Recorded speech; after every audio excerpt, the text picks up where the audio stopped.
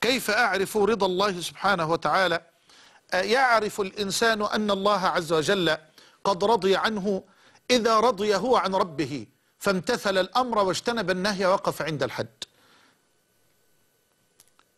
اعلم بأن الله سبحانه وتعالى يرضى عنك إن رضيت أنت عن ربك.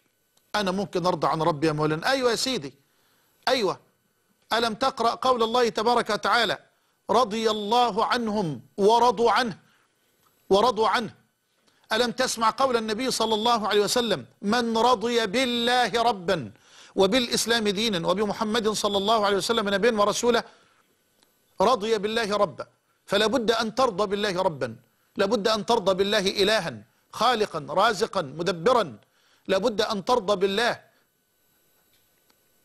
وحينئذ إن رضيت بالله تبارك وتعالى امتثلت الأمر اجتنبت النهي وقفت عند الحد فيرضى الله سبحانه وتعالى عنك. إذ لا يرضى الله عز وجل إلا على من رضي عنه وأطاعه واتقاه واجتنب الشرك وتوقاه.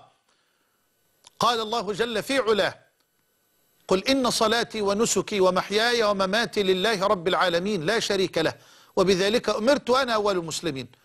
وقال جل وعلا ذلك بأن الله هو الحق وأن ما يدعون من, دون من دونه هو الباطل. وفي الآية الأخرى وأن ما يدعون من دونه الباطل وأن الله هو العلي الكبير.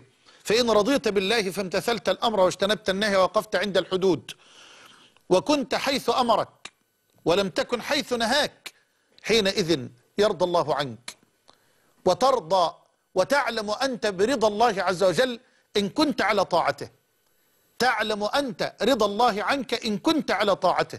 تعلم حب الله لك إن كنت على طاعته. إن كنت في مراضيه سبحانه وتعالى.